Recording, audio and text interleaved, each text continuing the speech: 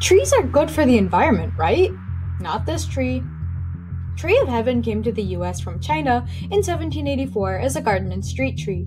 With its seeds and intense root suckers, it quickly became invasive all over the US. It's merciless in our natural areas, releasing allelopathic chemicals that kill native plants.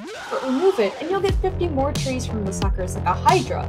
If that's not bad enough, it also hosts the spotted lanternfly, a notorious pest that seriously threatens agriculture, especially grapes.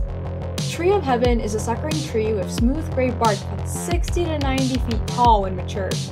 Large, alternate, pinnately compound leaves have bronzy new growth that matures to dull green.